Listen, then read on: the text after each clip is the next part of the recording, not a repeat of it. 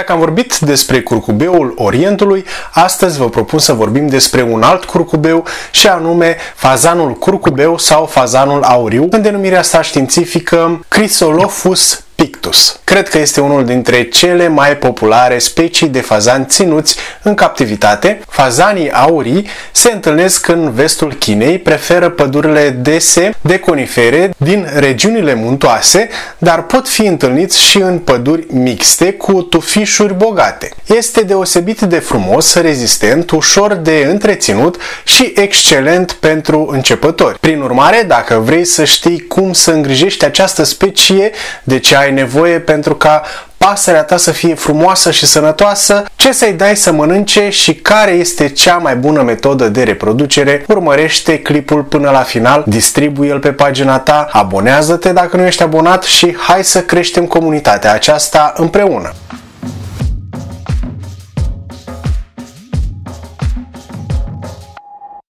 Fazanul auriu este o pasăre colorată originară din pădurile din zonele muntoase ale Chinei, dar există populații sălbatice în Regatul Unit și în Florida. Masculul adult este inconfundabil cu creasta și coama aurie și cu penele de pe corp de un roșu aprins. Pelerina de culoare portocalie închisă poate fi întinsă în timpul expunerii, apare ca un uh, evantai alternând între negru și portocaliu ce acoperă toată fața cu excepția ochilor săi galbeni strălucitori, cu pupila neagră punctiformă. Masculul adult are o lungime de aproximativ un metru, coada masculului reprezintă două treimi din lungimea totală a păsării. Ciocul și ochii de culoare galbenă, iar fruntea și capul este de culoare portocalie deschis, partea superioară a spinării este verde, iar partea inferioară a cefei și a spatelui este galben auriu. Aripile sunt albastre, iar, iar scapularele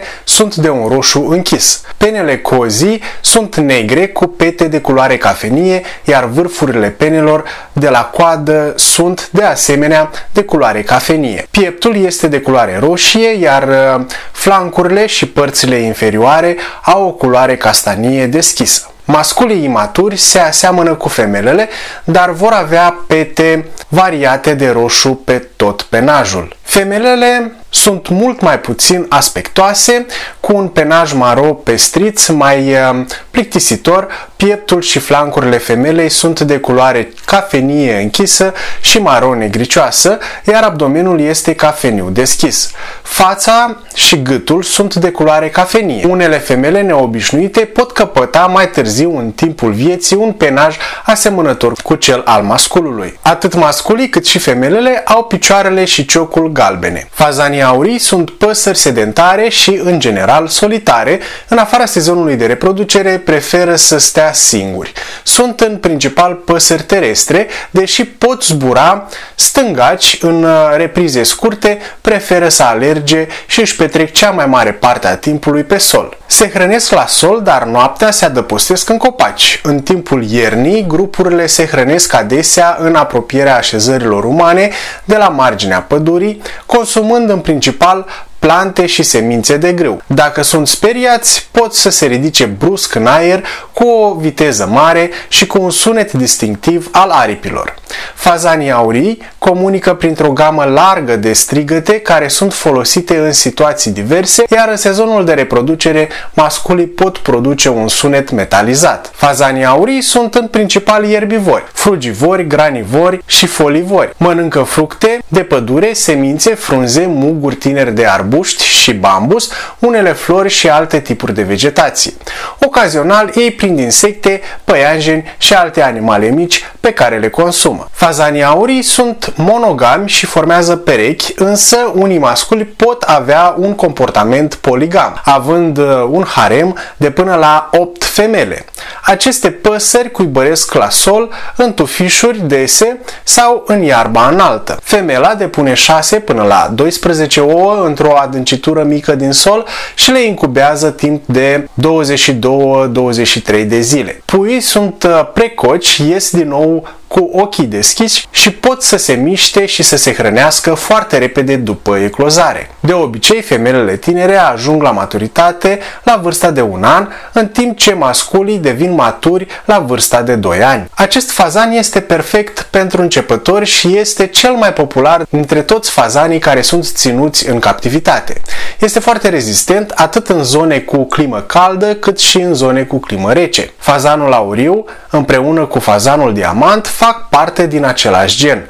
Chrysolophus. De-a lungul timpului, unii crescători i-au înmulțit, ceea ce face ca exemplarele pure să fie greu de găsit în captivitate. Dacă sunt pure, crescătorul va fi mai mult decât bucuros să dovedească acest lucru și să arate actele de proveniență a păsărilor. Mulți crescători vă vor uh, vinde perechi compuse din frați și surori, pe care nu ar trebui să le înmulțiți.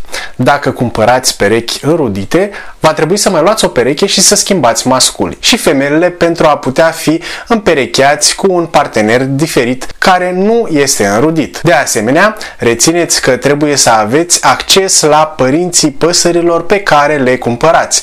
Să vă asigurați că păsările sunt sănătoase. Puneți întrebări despre metodele folosite de acești crescători pentru dezinsecție, despre hrana pe care le oferă, despre adăpostul sau voliera lor, chiar și despre locul de unde au fost cumpărate păsările.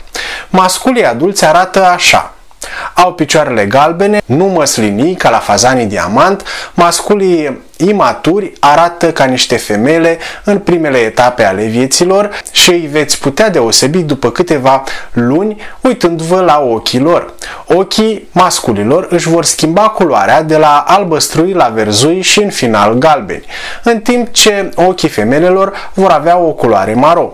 Femelele nu au culori strălucitoare, așa cum au masculii adulți, ele arată ca în imagine. Dacă vă gândiți să vă cumpărați un fazan auriu, atunci uitați-vă la adulți adulții de la care a fost produsă descendența, urmăriți ca masculul matur în vârstă de 2 ani să aibă picioarele galbene, creasta să fie galbenă, nu roșie sau portocalie, fără pene de culoare verde, fără dungi și fără linii galbene orizontale în zona pieptului. Acestea ar putea indica că păsările au fost hibridate. Această pasăre este cea mai bună opțiune pentru un începător și este foarte accesibilă. Prețul poate varia în prezent de la 150 de lei la 300 de lei exemplarul.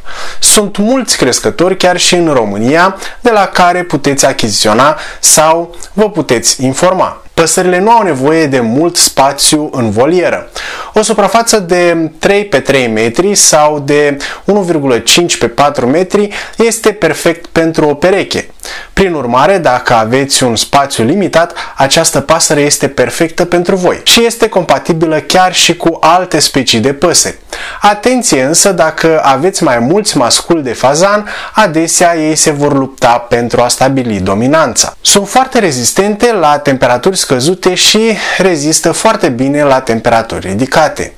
Foarte important, oferiți-le umbră și un acoperiș astfel încât apa și zăpada să nu poată intra în adăpost. Specia se va înmulți în primul an cu o rată bună de reproducere. Prin urmare, poți avea o pereche quadruplă, adică 3 femele la un mascul. Cu toate acestea, majoritatea crescătorilor formează perechi formate din două femele și un mascul. De asemenea, cu o fertilitate foarte mare. Costurile unei voliere sau a unui adăpost pentru fazani pot varia de la câteva sute de lei și pot ajunge la peste 8000 de lei. Femelele depun într-un cuib 6 până la 12 ouă. Ele uh, pot oua un ou în fiecare zi sau un ou la două zile. În perioada aprilie-iulie. Depun ouă într-o singură serie și vor depune mai multe dacă le luați și le incubați separat. Deoarece unele păsări vor cloci, iar altele nu, vă recomand să incubați ouăle separat. Durata normală de incubație este de 21-23 de zile. Colectați ouăle pe parcursul zilei ulei și scrieți pe ele cu un creion data și de la ce pereche provin, iar dacă aveți mai multe specii, scrie și numele speciei sau al rasei. Ouăle ar trebui să fie incubate la aproximativ aceeași temperatură ca și în cazul ouălor de găină. După eclozare, țineți puii în incubator timp de cel puțin 8 ore pentru ca aceștia să se usuce. Puii de fazan auriu ar trebui să fie de culoare maro închisă, cu sprâncene și desene galbene crem pe față. După cele 8 ore în care s-au uscat, ei trebuie să fie relocați într-o maternitate cu dimensiunea de 1 pe 1 adică un metru pătrat și ar trebui să aibă în jur de 37 de grade în acea cușcă. De aceea se recomandă folosirea unor becuri speciale pentru păsări. Atenție, totuși nu puneți prea mulți pui în acel uh, uh, în maternitate pentru a nu supraaglomera spațiul. După o săptămână sau două ar trebui să-i uh, plasați într-o creșă de două ori mai mare decât maternitatea pentru următoarele 7 până la 9 săptămâni. Puii sunt ușor de crescut și foarte rezistenți. Există multe variante de mutații ale acestei specii și acum vă voi prezenta câteva din rase. Rasa auriu pe galben a fost creată în Bolonia, Italia. Creasta masculului este galbenă, mantaua este portocalie și neagră la uh, extremități Partea superioară a spatelui este brună, partea inferioară a spatelui este galbenă, aripile sunt de culoare maroniu închis, mantaua metalică, cea mai mare parte a cozii este albă cu detalii de culoare maronie sau gri, pieptul este galben, picioarele și ciocul sunt de asemenea galbene rasa auriu pe argintiu. Are un cioc de culoare măslinie și picioarele care sunt aproape de aceeași um, culoare ca și fazanul diamant. Păsările juvenile arată exact ca puii de auriu pe roșu, dar picioarele și ciocul sunt de culoare diferită. Pelerina unui mascul adult este albă și neagră, Partea superioară a spatelui este argintie albă, aripile sunt de culoare cafenie, coada este ca la păsările auriu pe galben. Fazanul auriu cu gât întunecat seamănă cu auriu pe roșu, dar are fața și gâtul negre, iar femelele sunt mult mai închise la culoare decât cele obișnuite. Cozile sunt striate și nu pătate ca la aurii. Și mai sunt câteva rase create de alți crescători în lume. După cum știm, în uh, sălbăticie se hrănesc uh, la sol cu frunze și alte tipuri de vegetație, cereale și nevertebrate, așa cum sunt insecte, uh, insectele, larvele, râmele, miriapodele, melcii și păianjenii. În captivitate, fazanii aurii de companie se dezvoltă bine cu hrană pentru păsările de vânătoare pe care le puteți lua din comerț, suplimentată cu o mare cantitate de fructe și legume adecvate pentru păsări, pe lângă aportul de proteine, cum ar fi viermi de făină și ouă fierte. Ca în cazul oricărei păsări de curte, hrana trebuie depozitată în recipiente rezistente împotriva animalelor dăunătoare, iar orice hrană neconsumată trebuie îndepărtată și eliminată în mod corespunzător în fiecare zi sau chiar mai frecvent dacă suplimentăm hrana cu legume și fructe. Și, ca de obicei, apa proaspătă este o necesitate, așa că nu uitați să o schimbați zilnic. Noaptea se vor adăposti în copaci sau pe cele mai înalte alte postamente pe care le veți pune la dispoziție. Nu sunt păsări foarte bune zburătoare, dar preferă să alerge. Îi veți observa alergând în jurul cuștii mai degrabă decât să zboare. Dacă sunt uh, speriate sau dacă veți încerca să le manipulați, vor izbucni și vor uh, și își vor lua zborul. Odată ce una zboară, celelalte au tendința de a urma.